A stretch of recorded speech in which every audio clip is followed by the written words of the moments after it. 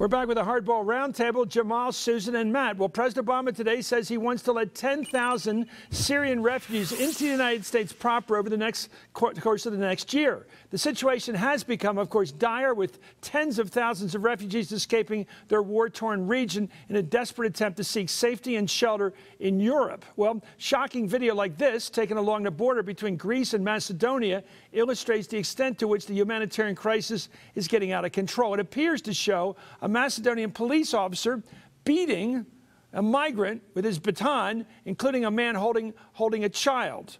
Anyway, that's what we're looking at right now. Jamal and Susan and Matt, I want you to tell me what your reaction was when you heard that President Obama is making basically an executive decision to bring in 10,000 of those refugees. Jamal first on a, on a humanitarian basis, this is absolutely the right call. I mean, I think we all remember who read history about what was going on in Europe in the 1930s and 40s and the United States being reluctant to take in Jewish uh, migrants at that time. This is something that's right. Politically, though, you can see why this is a fraught decision. And I'm sure it's not, it's not completely analogous, but Chris, you will remember Jimmy Carter uh, remember, you know, bringing in Cuban refugees in the 19, I think it was 1980, which ended up costing somebody like Bill Clinton his, exactly. his governorship in Arkansas uh, that year. It's a tough, it's a tough decision to make politically, and it may not just affect the president, who's not running for reelection, but other politicians uh, in this time of immigration being such a big issue in our country. You know, Chris, I yeah, think Clinton I would certainly blamed Obama for what's called the Mariel boat lift. Yeah.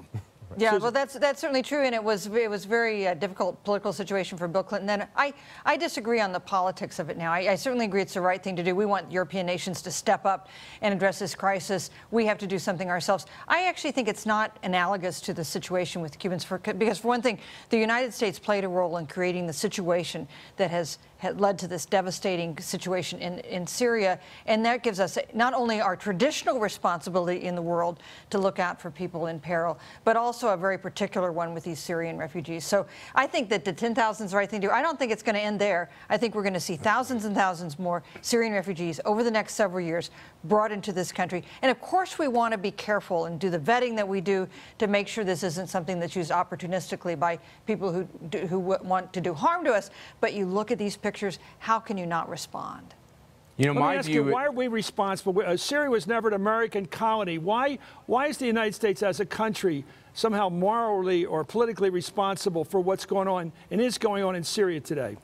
There are two reasons. One is because we failed. Two reasons. One is because we failed to do more when, the, when there might have been a possibility of some moderate Syrian opposition uh, against the Assad regime in Syria. Famously, Hillary Clinton was among those who urged President Obama to do more than he did. Secondly, the, the collapsing situation in Iraq, the very difficult situation there in the wake of the U.S. war, is contributing to the turmoil in the region that has created the situation that has sent these people fleeing. Go ahead quickly, Matt.